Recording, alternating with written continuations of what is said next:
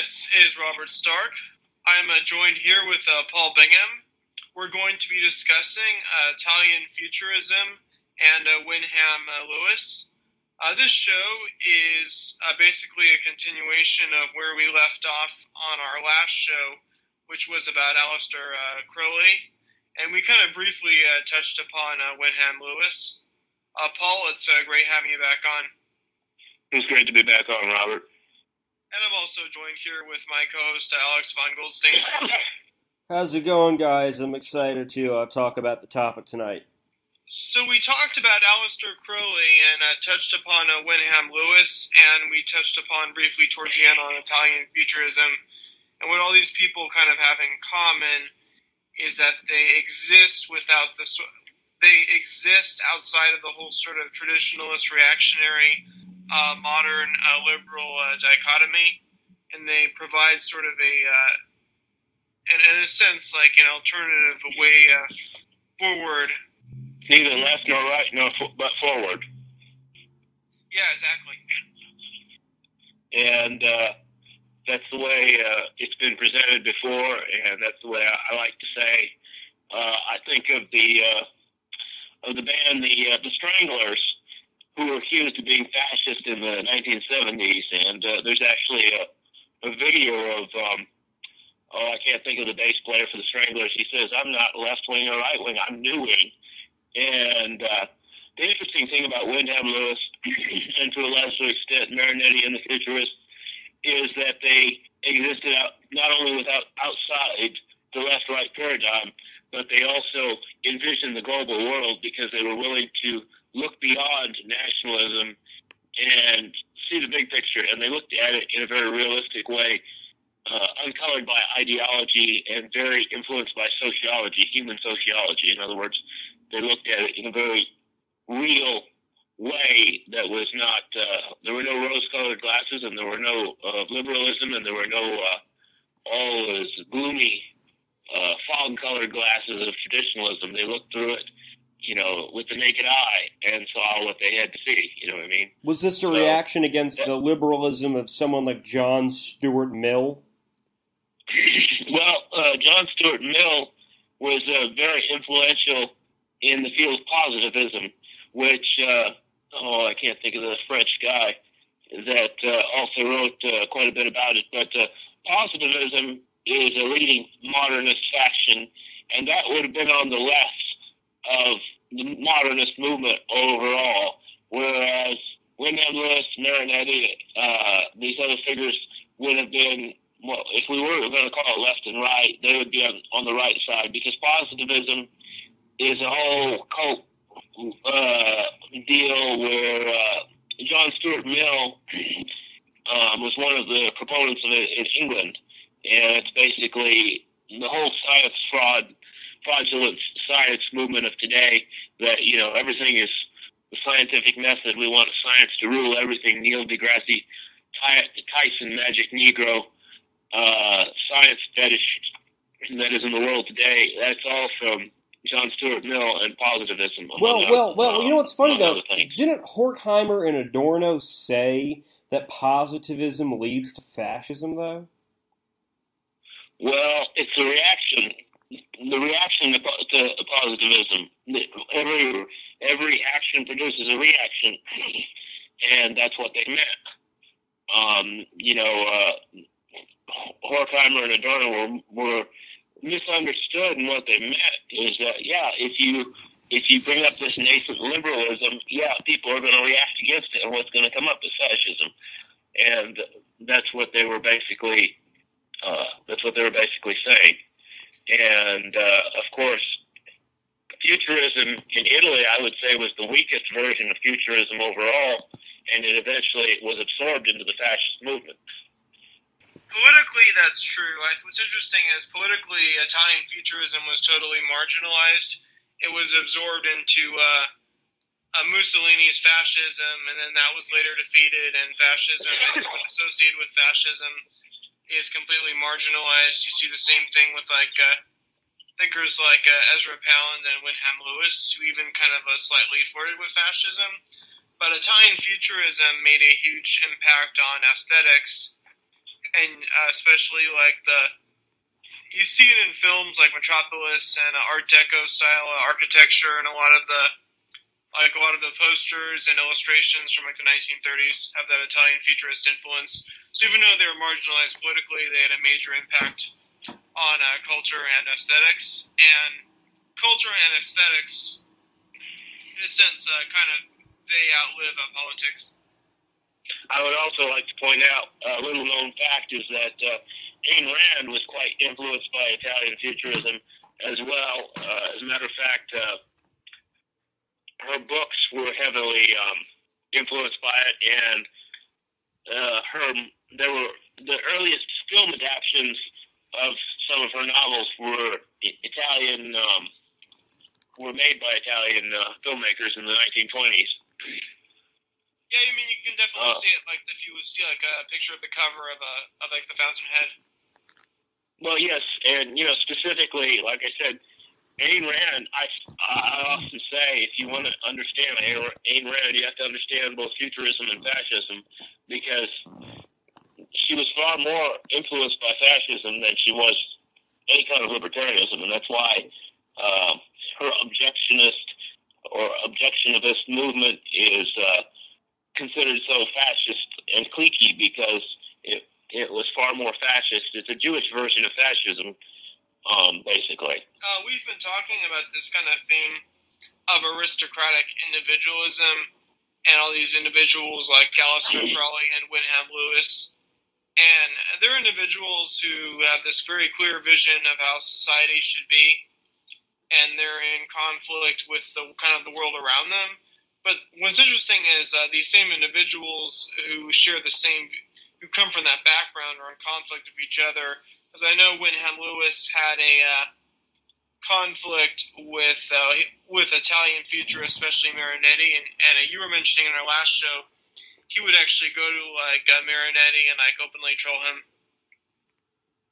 They he he and the uh, the Rebel Art Center was founded because they differed from Italian futurism on some main points, and basically well, to begin with, this, this all this all happened. Uh, Lewis this all happened. They put too much emphasis uh, on uh, technology. Well, that was a principal point, but Lewis's uh, version of futurism, vorticism, involves the vortex, which is, uh, well, what is a vortex? It's uh, like a tornado. It's a swirling uh, funnel of energy, basically. And so Lewis is looking at many forms of energy besides technology. And he wants to capture and convey that. And he feels that technology is kind of too uh, too common. It's too available to the masses. If we read uh, The Art of Being Ruled, his writings on technology are very prescient because today, basically, the only way humanity is advanced is technologically. In most well, other ways, humanity is falling behind. Didn't didn't Heidegger say like wasn't the thing that Heidegger w- was most against was was global technological materialism, right? I, I think that's what a yeah, lot of people, uh, people that yeah, were that's what yeah that's all his works basically lead to that thesis, you know. Yeah, certainly, and it seems that you know I, Lewis called himself a fascist modernist, and I know he. I think in the early '40s he had written a book on on Hitler, and then he wrote a piece after visiting Nazi Germany called like "The Jews Are They Even Human," which is sort of uh, you know sympathetic to Jews, but um, yeah, he but, wrote the Hitler Cult as well.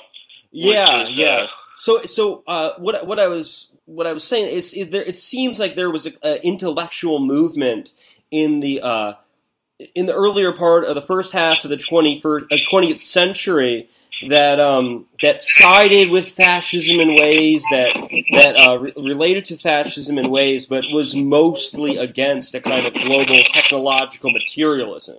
So could you could you go into that idea of like what global technological materialism like is?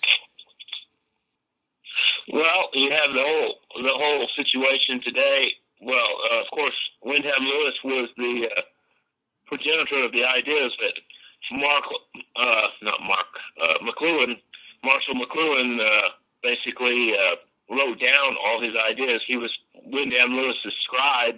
His global village is uh, just basically copied directly from Wyndham Lewis. You know. Oh, they were they worked and, together there's a perception that uh, vorticism is just kind of an artistic movement in the sense that like uh, cubism is, is a the thing is uh, vorticism is a whole intellectual uh, philosophy.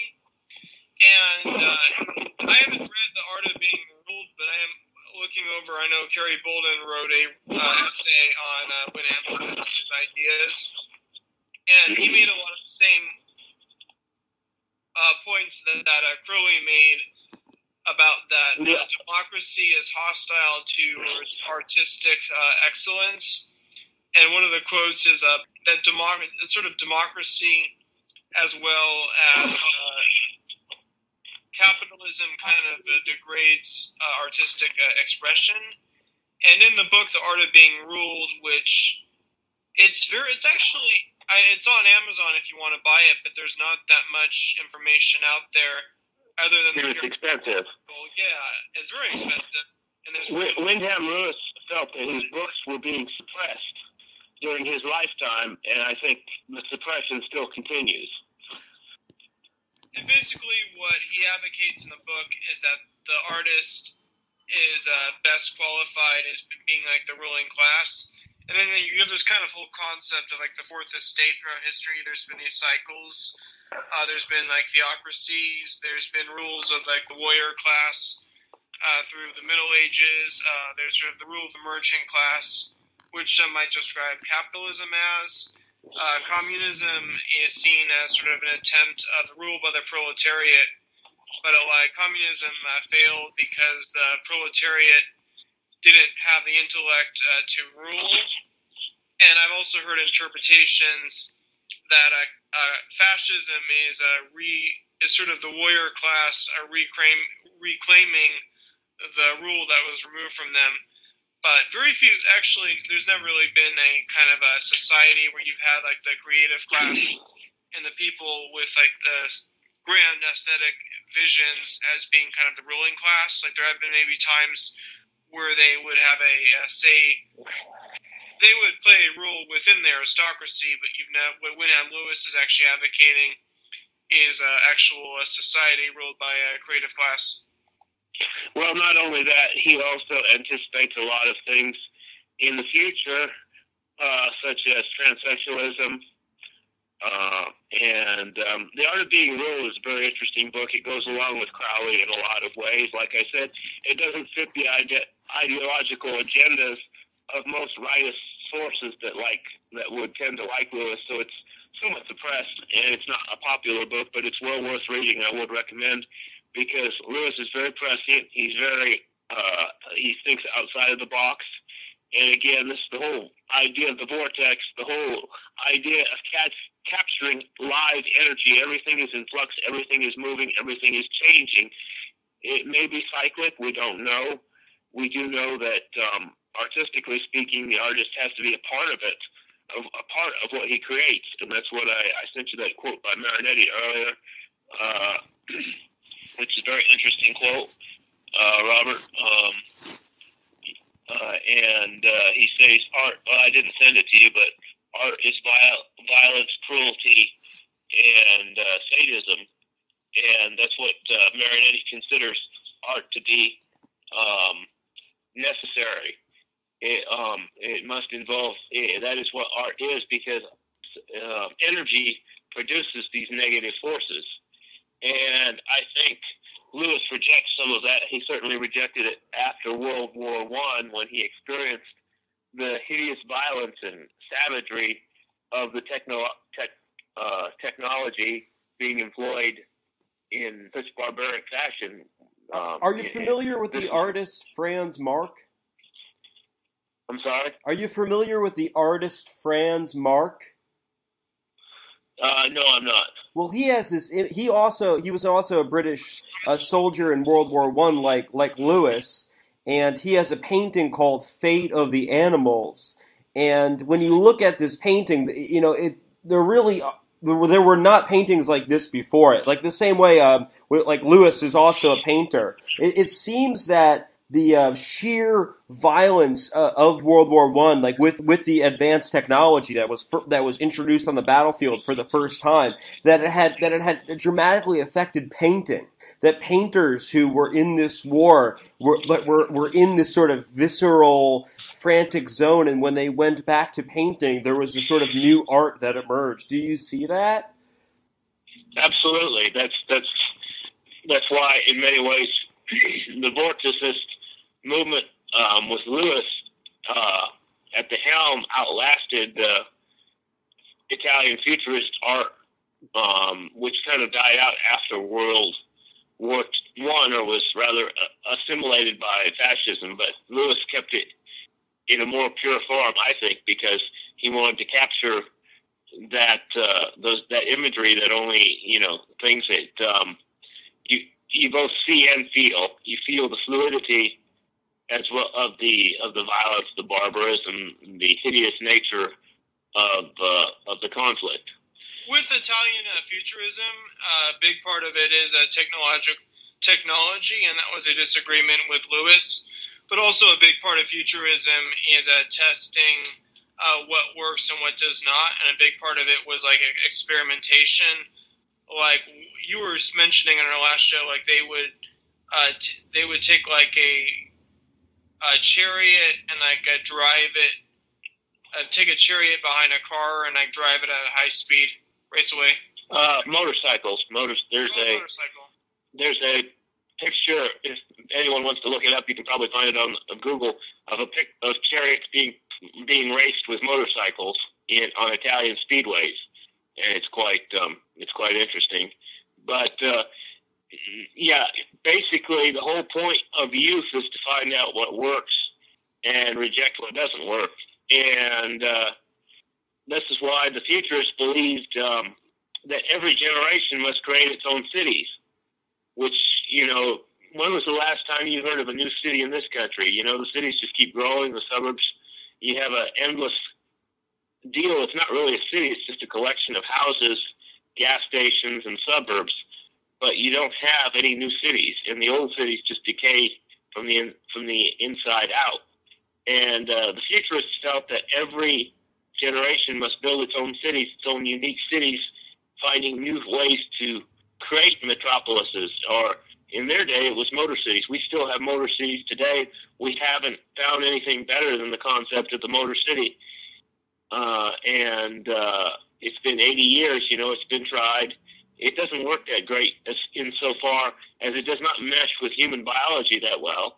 But we continue to beat our heads square. Well, well, like the uh, there was an Indian tribe in uh, Washington State that used to shape their uh, their children's heads um, to a point by uh, pressing them into a cradle and this is the kind of thing that uh, futurism rejects. It rejects those traditions force people to do things the same way over and over again, even though it's against their nature, it's against biology, it's against uh, uh, future innovation. Yeah, and that principle applies to like urban planning, as you mentioned. Uh, Italian futurists advocated each generation creating a new city.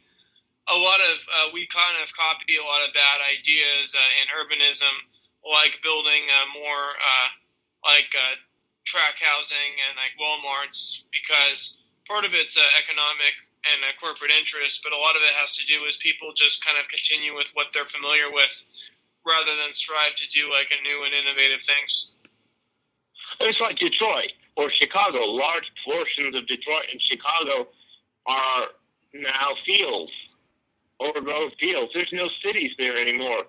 The you know the city, the cities are shifting constantly and they never they never die out completely. But we have the same city, and we have a blighted area, we have a ghetto, we have a, and then there's a prosperous side of town where some nice houses are. But it's all within the city limits. You know, the the, the prosperity is always shifting around any given city, but they're never building anything new. They're not starting a new city. They're not saying this city is a total joke. The grid is laid out poorly.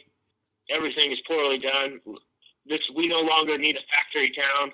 Let's start over and do something new. Let's build a garden city. Let's do something else. But that's never said, you know. but it happens anyway, just through uh, the time passing or situations like Chicago and Detroit, where or East oh, St. So Louis. And, yeah, you told me you were gonna you were working on this piece called "The Motor City and the Zombie Apocalypse," which is about that theme. Yeah, I worked on it for a long time, and then I realized no one wanted to publish it because uh, most people are quite content. Um, but if you go to uh, areas on the Mississippi, like East St. Louis on the Illinois line, you it, it, looks like a war zone. It looks like the aftermath of a war zone and it's static. And if you go into into a large area uh, around St. Louis, or if you just get on a train, if you ride the Amtrak, you will see such devastation in most major cities, and everyone knows this. Uh, that uh, you know you've got a lot of old buildings, a lot of uh, a lot of uh, buildings that would are not properly coded and are not up to code, and uh, the codes themselves are a joke. And so there's well, a lot of issues that um, are not addressed because urban planning in the United States today is a joke. It's just how many people can you cram into this area, and it's all based on uh, banking rather than uh, other practicalities. Yeah, I mean it's. But, uh, it seems like there is this this general this general decline that's happening across the board. A, a friend of mine remarked that it seems like the world has already ended and I and I think that that's true. But just to go back for a second, I think it relates to what we're talking about completely. Could you give us a definition of global technological materialism and how it has affected this decline? I think the fact that everybody has a cell phone has caused people not to be brighter. Um, it's caused a, a decay of everyone's minds because just because somebody in Africa can talk to somebody in the United States via a cell phone, it's it's uh it doesn't help anything. Texting doesn't help anything. Um, none of this helps. You know, none of this improves the quality of life, or no, none of this improves makes people any smarter or any um any any more better off.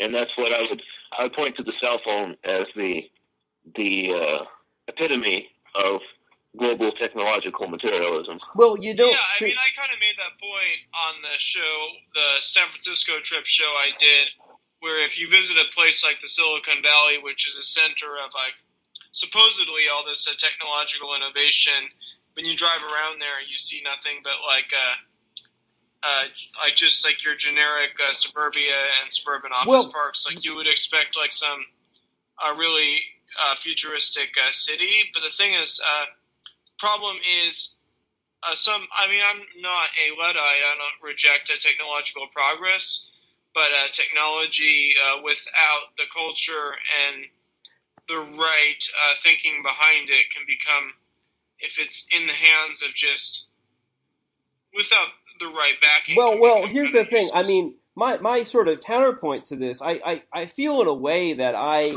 have over time become a, a, technological progressive in that you know when someone complains about a piece of new technology i sort of think that they're just in the stage of uh, adapting to it. Like robert i agree with you in that we have this technology and it's being used for the wrong purpose or or that it's controlled by the wrong people uh, but I do think that this technology can be used in a way that can benefit human beings. I, I just think that uh, um, what what what's happened is, uh, you know, global technological materialism has been operating in a in a top down in a top down way. You know, our revolutions, our cultural revolutions, like the revolution of the 1960s, was a top down revolution. The bourgeois was telling the proles the prolet- the bourgeois was telling the proletariat how to act. But I do think the 21st century will be a bottom up revolution where where the proles will take charge, and I think they will be able to use technology to do this. I mean, like I haven't met either of you guys in person, but we're able to use technology to have these discussions. I would uh, I would agree somewhat. I don't. I'm I'm reserving my opinion overall on whether you're correct or not. But for example, in, in the Ron Paul campaigns, we used technology effectively against uh, the Republican Party to achieve our ends and against the, the, the most powerful people in the Republican Party to win um, some localized victories, uh, which otherwise would not have been possible. And uh, that's that's an example. Now, long term, we accomplished very little, but uh, that's the thing. The peasant can have his musket for a while and topple the knight, but in the end, the peasant doesn't win just because he has his musket temporarily topples the knight. What do you think about those uh, renderings that the Italian futurists did in their illustrations for those uh, uh, grand, uh, grandiose cities? Um, I don't fully, I cannot fully internalize futurist art. In my opinion, it's the most, it's the most heavily um, uh, considered uh, part of futurism, and perhaps the most overrated part of futurism. Though um, you probably have a different opinion because you're an artist yourself, Robert, and you can we see actually, things that I uh, can't. Rabbit and I did a whole show on Italian futurism, but it was a totally different show. We focused on more the aesthetics of it, but we didn't really get into their ideas in depth that much. Well, I mean, there are so many. They they wanted to revolutionize the lifestyle of the Italian people, and I sent you another note um, regarding futuristic cooking. That's how Oh. far Marinetti went. He wrote a book, a cookbook, on futurist cook, a cookbook. Paul, have you Paul, ha, have you ever read uh, Jean Baudrillard? Uh, I've read bits and pieces. Yeah. Well, what's funny is, I mean, he, he's like a postmodernist. I don't know how you feel, or post-structuralist. I don't know how you feel about that kind of stuff. But he, he I like him. well, he says that you know we're, we're basically going to be overtaken by the simulation, which is global technological materialism. Like we're going to be overtaken by it, and uh, in Fatal Strategies, which is his '83 piece or book or whatever, he says that the Italians are the ones who adapted to the simulation the best because they didn't allow it to affect their culture. Like the Italians just sort of went with global technological materialism, like their evolution just sort of they were able to be symbiotic with it. Do you see that? Was he right? I think to a certain extent they did the best job of any country in Europe, and certainly better than the United States. Could you make the same? Uh, And here's where I would say the perfect example of that is is would be Sophia Loren. why, why is that? Just uh, I just think the her movies encapsulate Italian culture within the the realm of uh, global uh, technological materialism, as you put it. In other words, Italian culture is uh, is within is it's like in the eye of the storm. It's, Well- it's all around it. What about someone Yeah, like uh, but- you know Truffaut or, Goud- or, or Godard? Do you think like uh, sort of French filmmaking, where where uh, you know of the same time, you know that Sophia Loren was the star. You had you know uh, blossoms of creativity all throughout Europe. Europe. How does Italian cinema? How how does Italian how was Italian cinema more authentic than let's say you know French New Wave? Uh, because it was more connected to the Italian people. Uh, French New Wave was divorced.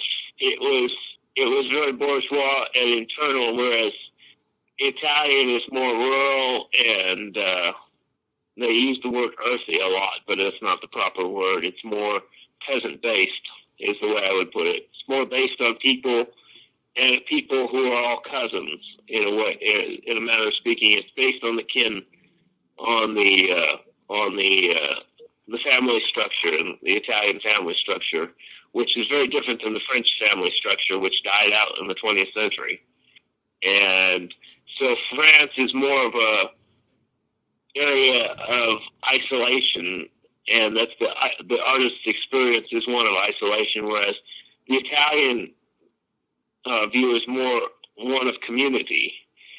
And you can see this. There's a lot of, of course, there's tons of French films. You can easily see the difference, but uh, you see ones in uh, movies like uh, "Those Who Love Me Can Take the Train," and that's a, you know, it's a like uh, archaic deal. They have to go by train rather than some rapid form of transportation in the 1990s, and they're transporting this dead artist, and the whole the whole image is is that's that's modern that's French art is sterile, it's impersonal, it's uh, remote, whereas Italians is still based on the village rather than the the city. Yeah, I mean, the bourgeois. Uh, with the differences between uh, Wyndham Lewis and Italian uh, futurists like Marinetti, uh, do you see those uh, cultural conflicts between uh, Italian culture and Anglo culture? Well, Wyndham Lewis considered himself to be an American or a Canadian, though he really was a he really was an Englishman to the core. Even though his father was a colonel in the Civil War and uh, you know was an American uh, or a Canadian, perhaps I I just remember, but uh, Wyndham Lewis had a very aristocratic view. We talked about aristocratic individualism.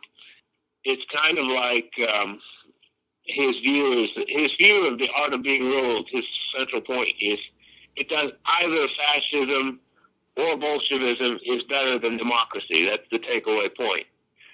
And it doesn't matter which because both are revolutionary disciplines that uh, completely reject liberalism. And either the the, the rigorous ideologies. It's like Yukio Mishima said once about hanging out with the communists, he said we shared one thing in common: a rigorous ideology and a taste for violence. Or that's two things in common. But that was his basic quote. And uh, Marinetti is a ver- is just basically very focused, even before World War One, on I- Italy and the movements within Italy. Whereas, of course, Wyndham Lewis, his experience is different because at that time England controlled a large portion of the world. So he's thinking global. Uh, Marinetti is thinking local. And Wyndham Lewis is see, seeing the world as it is and basically interested in uh, c- capturing the movement without being sucked into uh, you know national prejudices or or you can't think outside the box if you put yourself if you create a box to fit into. You can't look at the whole situation if you're a nationalist. Um, Lewis is always outside a movement. He may flirt with a movement, but he's never inside a movement. He's never belongs to the. He may be friends with Mosley, but he's not a black shirt. And uh, whereas Marinetti dives enthusiastically into various other political movements. He doesn't take a detached aristocratic in, in, interest in any of it. Are there aspects of uh, Lewis's work that would uh, strongly go against uh, traditionalism or the right? Well, Lewis's work changes over the years, but um, I think uh, I think Lewis would uh, present a critique of the right that's very similar to the critique uh, Crowley would present. Actually, it would it, he would uh, he would look outside it and critique the right from an illiberal perspective, and his critique is very interesting because you have to remember that uh, Lewis exists. He actually does this in the Art of Being Ruled. I believe it was the Art of Being Ruled. He takes another modernist, Anthony Ludovici, Ludovici another interesting character and uh, a modernist, though not a futurist. And he critiques Ludovici from an illiberal pers- perspective, even though Ludovici is pro- probably the least uh, liberal or um, he, he, he is, if anything, a, um, a very rightist figure. But Lewis critiques him from farther to the right than Lud- Ludovici is. And that's what makes the critique interesting because um, he is not as involved, politically involved as Ludovici is, and that enables him to cast a uh, more impartial and more uh, more uh, theoretical uh, eye upon Ludovici's works. Um, more, you know, from the uh, non uh, non, but at the same time, very much non-liberal um, consideration of Ludovici's work and that's just one example of of how uh, Lewis differs um, from Marinetti, and like I said, um, he he also differs from uh, Ludovici on the right because Ludovici is a very um, contemporary uh, right uh, individual. One might compare him to uh, Nicolas Gomez Dávila, the uh, Colombian reactionary. But Lewis is not a reactionary because he embraces things as they come, and he recognizes that uh, there is uh, the world is always in flux. There is energy passing through constantly, and there are many things that we don't understand that uh, that are there to be learned, and uh, there is knowledge to be gained, and that's why his opinions change over the years. As toward the end of his life, he became uh, supportive of the United Nations to prevent a future world war, which um, concerned him greatly, seeing uh, the devastation of yet a, a, third world war, which he'd gone through too, and he did not want to see in his last years another world war emerge. Did you say he said something about uh, uh, transsexuality in his book? Yeah, he talked. He has a chapter I think called uh, "Man and Shaman," and he talk. He discusses the cultural impact of the third sex, those men who claim to be women. And he even talks about the anthropological findings of certain Indian tribes in which um, uh, certain individuals claimed, certain male individuals claimed to be female individuals. They're berdache or two spirits, some of them are called. Yeah, yeah. And I, they they actually turn um, supposedly um, there are reports of some of them uh, living as women, growing their hair long, and there are even reports of them grow, um, developing uh, female sexual organs. Well, not even wait, uh, a Roman emperor who tried to give himself a sex change. Yeah, I, I just want to in, yeah. interject real quick here, where uh, I think an in, an interesting thing that a lot of modern people who call they you know they call themselves liberals these people they they believe that the things they're fighting for are it's like a, a like a new paradigm you know like we, human beings have evolved to this point where men can now transition into becoming uh, women. Like I remember uh, a friend, you know, I had some friend who just sort of drank the Kool Aid and became a transgender and was basically. Well, but I've also heard liberals make the case that. Uh, that, it, that, this stuff existed a long time ago, so sure, sure. Well, that's that's what I uh, that's what I wanted to say is that it's it, there's this weird thing where it's like it is an eternal cycle in one ways, and it's always presented as new in another way. Like I remember, I was reading uh, Wilmot Robertson's uh, Dispossessed Majority, and in it he talked. You know, that book was written in like 1972, and he's talking about how people uh, would get fired from their jobs for saying things that were racist in the 1930s. I know that I know Albert Jay Nock had written something that was, you know, sort of critical of Jews in the, uh, you know, 1940s, and he got, you know, he never wrote a, for the Atlantic, and he never wrote again after that. So it's like people believe that political correctness is like a new thing, but I, it really seems like the stuff has gone in cycles for forever. Well, that's the whole point of the the concept. That everything is in flux. That's the basic point of all futurism that everything is in flux. We're not on a linear path to anything. We're, everything is constantly in motion. There's an energy in the air, whether we're going round and round in a circle or we're going up and down, uh, back and forth. We're, you know, it's not clear, but one thing is clear that everything is in flux. Everything is changing constantly. So things that change one way might also change the other way. In other words. So there's this uh, uh, concept of uh, cybernetics, and uh, cybernetics it's like a transhumanist concept of using uh, technology to rewire the brain, and uh, you can sort of make a lot of the same points about like art and poetry. Absolutely, and I've always said poetry is a form of coding, in terms of like computer or computer coding and uh, poetry is a coding for development of the mind and uh, uh, basically shaping the mind or creating certain structures within the mind and uh, putting certain thoughts within the mind has an impetus to having other thoughts and ambitions. And uh, poetry is not just poetry, words on paper written for amusement. Their poems are written in certain ways, grammar is used in certain ways, semantics are a real thing. Like, you know, being able to craft a sentence that will influence individuals to action. The idea that writing is supposed to do something more than entertain is novel in this day and age, but that's what the futurists had in mind. The futurists were big, were pre ADHD culture that believed that the, the written word was significant and the way it was it should be deployed rather than uh, merely um, dispensed. With the futurism, uh, like all these uh, new movements that come about, uh, there's like the transhumanist movement, and there's things like uh, cyberpunk.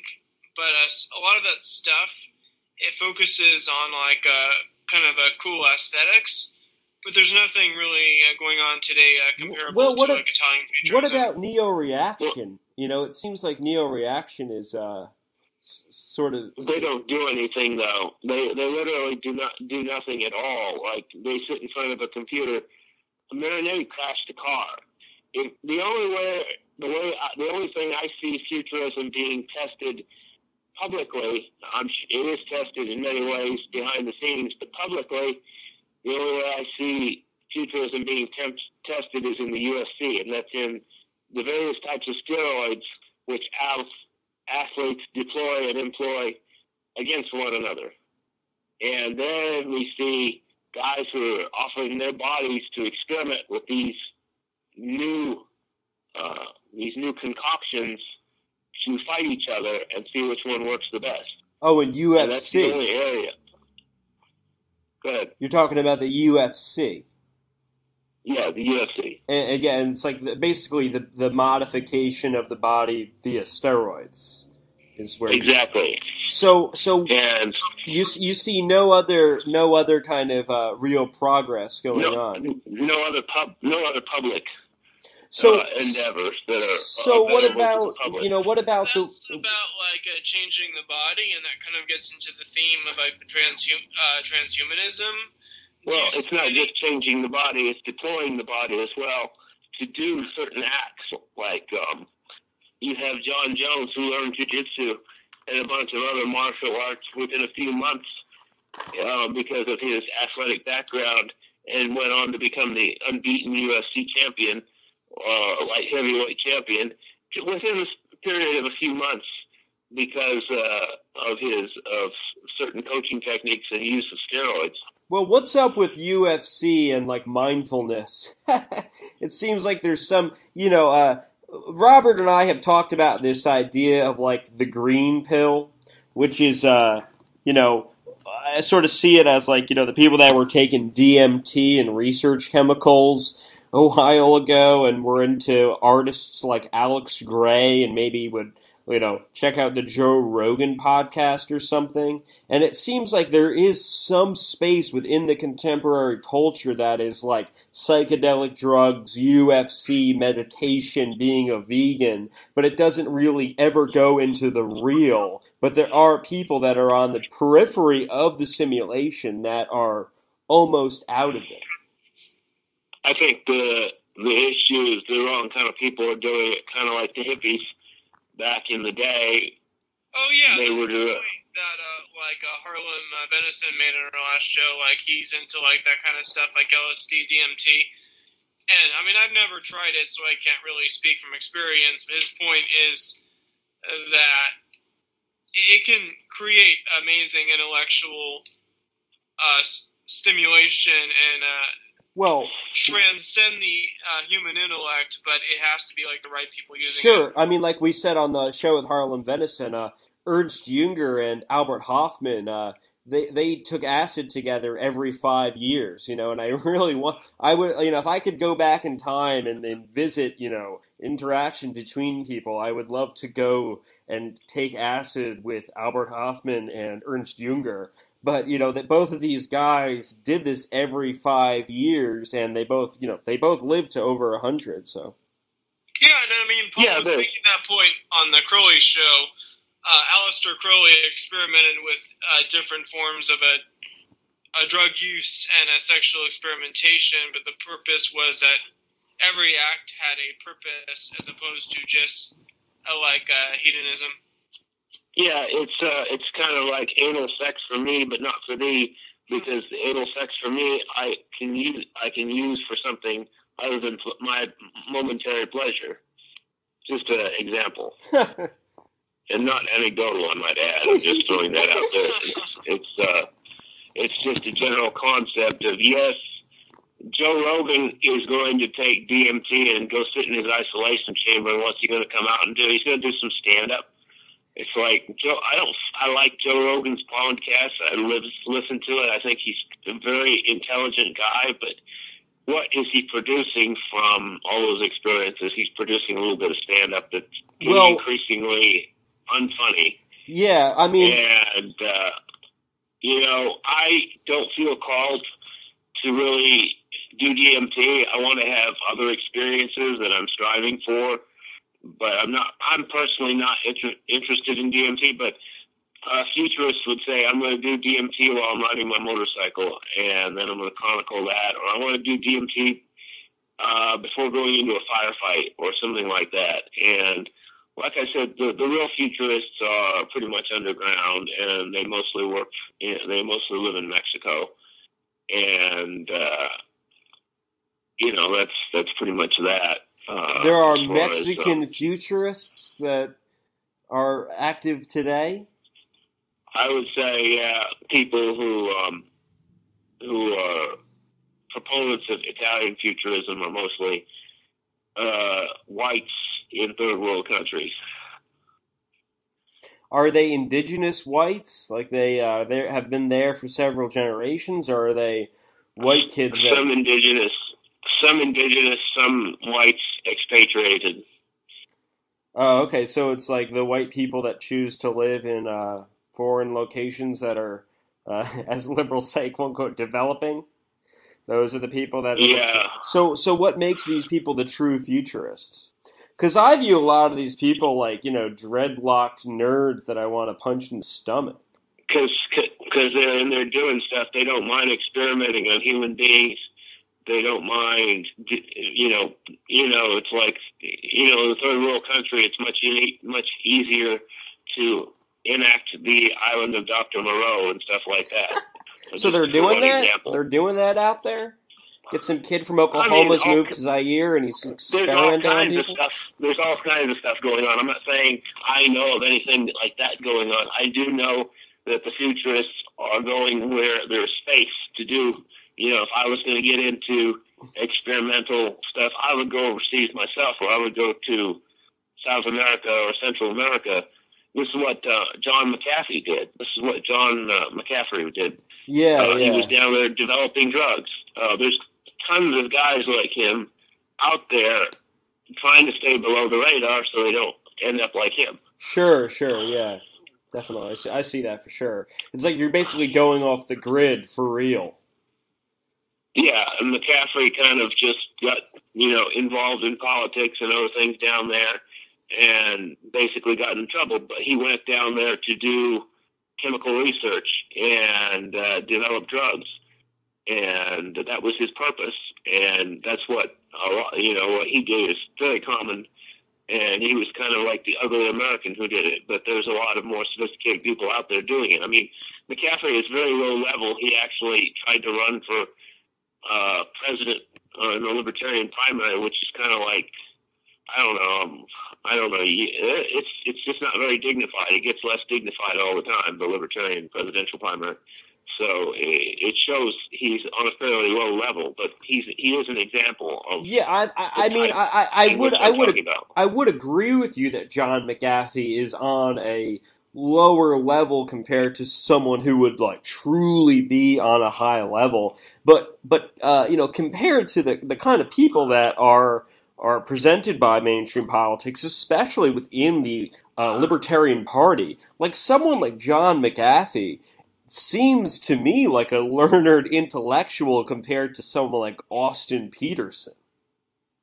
Well, the Libertarian Party is very much of a joke, and I was involved. I've been involved in a long time. I worked both Ron Paul campaigns, and libertarianism is just a form of LARPing for nerds. Honestly, I've come to that conclusion. It's a form of larging. what? LARPing, live LARPing. Action, yeah, live action role yeah, The yeah. thing about all these different movements, whether it's like a futurism, like this, like there's different uh, subsets of futurism, like cyberpunk, and a lot of the reactionary stuff about reliving the past. A lot of these movements are kind of a LARPing. Well, yeah. And, uh, they're into cool like aesthetics and all that, but there's not There's no. There's any no. kind of a clear uh, vision or plan. Well, there's no One of substance. the uh, one of the interesting perspectives on futurism from uh, philosopher still living is uh, Paul Virilio, the Italian uh, philosopher, and uh, one one of his earliest accounts in from back in the seventies, I guess, is having ridden in a car that was being driven in excess of 200 miles per hour, and his thoughts as he was in this car. In other words, he's in this car that's going 200 miles per hour, and he's remembering what kind of thoughts he's having as this event occurs in real time. And that's an example of somebody engaging in futurism, in my in my opinion. Now that's also a outdated one, from, like I said, from the seventies, but that would be my, you know, seeing what where your mind goes when you're driving 200 miles per hour. And this kind of Yeah. goes back to kind of the concept of aristocratic individualism. Only a small uh, handful of people have that kind of a mental capacity to expand their. Uh, your average average person is just not going to uh, get those experiences. Uh, precisely, Robert. And uh, nor do they want the experience. That's the other point. Is there are a lot of experiences nobody wants to experience. Uh, very few people want to stand on top of a mountain uh, that they spent three days climbing and look down. And I know individuals who climb mountains merely to get to the top to see what it looked like. And uh, very few people want to do that. Very few people want to experience danger. Very few people want to test the limits of speed. Very few people want to get involved in, in any of this. They want to engage in a facsimile of it, but they don't want to do the Well, do you, thing. do you know? I mean, you know that guy Dan Bilzerian. Yeah, I listened to the podcast. Oh, he- Joe Rogan. Well, yeah. I mean, he's like this big bearded guy. He's all muscly. Robert, do you know Dan Bilzerian? Yeah, I've heard of them. Well, you know the thing about this guy is he's so fucking popular. You know, like you know, you go out and you meet normal people that really aren't interested in fringe politics or you know weird art and shit. So you go and you talk to them about you know things that other that people generally know about and. Dan Bil- Bilzerian is like worshipped by people, and you know the funny thing to me about Dan Bilzerian is he's meant to um, you know, he's meant to signify like masculinity, like he's the big macho guy, but he hangs out with chicks all day. You know, he's he's around he's just around tons of women, you know, and to me that almost seems like not, not masculine because it's like he's in, in a gossip circle of unless they're all pleasing him or something. But you know, I mean, it's like we had James. O. We had James O'Meara on, and he was basically saying that this idea of the man going out and looking to hang out with chicks all the time would would have been seen as like you know gay in the 30s when it was you know you're more about being amongst your group of, of men and sort of striving for something. Well, Dan Bilzerian is building a brand, and his brand is to be like the alpha of uh, with a harem. So it's a bit different than uh, just a guy who likes to spend his leisure time with a girl, with a girl, with a bunch of girls. Um, it's a different aesthetic to me. Having a, That's a, a, not like uh, uh, futurism. I mean, that's kind of basic uh, human uh, primitive uh, nature. yeah, exactly. Are those two in conflict, like futurism and primitivism? Do, do you see like a, a sort of uh, dialectic between those two? Uh, I think they both need to exist in tandem because they balance each other out in many ways, and certainly Marinetti feels that uh, you have to have war and violence and many primitive, uh, simple human characteristics need to be encouraged in order to properly uh, embrace the future, embrace technology, embrace the aspects of uh, of the future.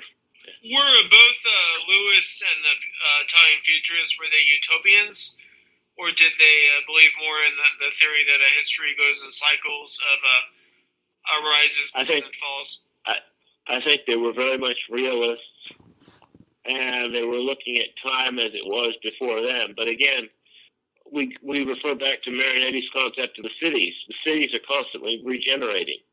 Um, everything is regenerating, whereas if we stay in the same rut, they're very much against staying in the same rut, in the same uh, plowing the same furrow all your life. It's everything is changing all around. Whether, it, as I said earlier, whether it goes in cycles, whether it goes in circles, whether it goes up, down, or sideways, things are changing um, most people merely adapt themselves to the whirlwind. Some people brace against the whirlwind. The futurist idea is to ride the whirlwind, to live the whirlwind, to um, to board a, a, balloon. Is it is it different the from the uh, Evolian concept of like riding the tiger, riding the whirlwind? Is it the same thing? Uh, I don't think so. I think um, Ev- Evola is very Evola is very much anti-futurist because he's anti, he's opposed to all forms of modernism, and uh, so his idea is just to stay aboard the beast until uh, such time comes as you can kill it. So, um, whereas Marinetti actually uh, is, to, you know, to Marinetti would have the idea of saddling the tiger and riding it indefinitely. How important uh, do you see as the rule of uh, aesthetics uh, in futurism? Do you see it as an absolute necessary to have a strong sort of aesthetic vision, and that that kind of comes before the whole uh, ideological angle? I think um, aesthetically, um, Vorticism was too strongly aesthetic, and Italian futurism was not nearly aesthetic enough, and that's why it was absorbed by fascism. Uh, but again, the concepts which Marinetti brought forth about automobiles, about different ways of consuming food, about the human body experiencing speed. Uh, there's a lot of, and plus the architecture, the paintings, the, urban design. Uh, there's a lot more to it than uh, simply um, considering it from a, a, more pedestrian point of view. Well, sure. Uh, Robert and I have been discussing this concept of aristocratic individualism on our show, and uh, you know we've gone over it a couple. You know, we I know we talked about it with you, and we've uh, you know gone over we've gone over lists of who could be considered the original uh, context was when uh, Keith Preston, uh, his b- book uh, "Thinkers Against Modernity," uh, he mentioned that uh, Aleister Crowley was the best example of aristocratic. Well, sh- well, sure, yeah, and even, well, I disagree. I think Ernst Jünger was the best example of aristocratic individualism. Yeah, well, well, okay, so you know, could could we? maybe we could end end end this on sort of an on a point that's sort of off from what we're talking about. Let's let's go as far as Ernst Jünger goes. How does he fit into aristocratic individualism? Do you consider him a futurist in ways? And uh, could you talk about his concept of like the forest of the mind as well? Well, starting off with, Jünger, Jünger has this whole concept of the anarch, which is the aristocratic individualist. That is the fundamental encapsulation of what you're talking about, the anarch and he writes about the anarch in Eumesville. And the anarch is basically riding the tiger, differently than Evola has in mind. But um, the anarch is basically surviving in any kind of society.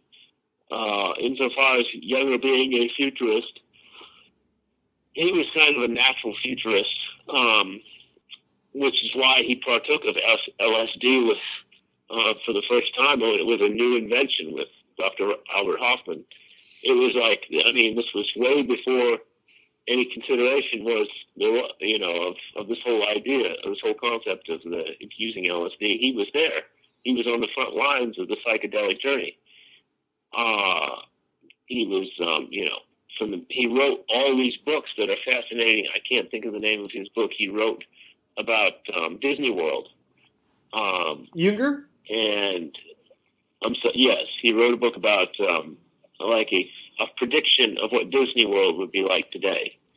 And I Any, can't think of the uh, name of the book. A positive or a negative sense?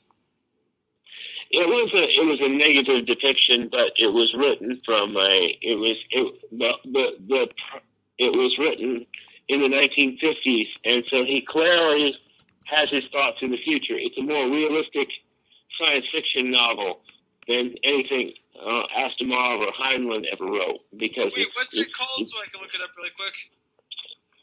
I can't think of it. You might look up Ernst Jünger D- Disney World or something like that. Um, the, um, but uh, it was written in the 1950s. His publisher actually told him it was too crazy to print because it didn't make any sense, and it was no way anything like that. It was too wild to print. And I used to have a copy of it. The Glass Bees. The Glass Bees. That's what it's called. The Glass Bees. It was written in uh, 1957.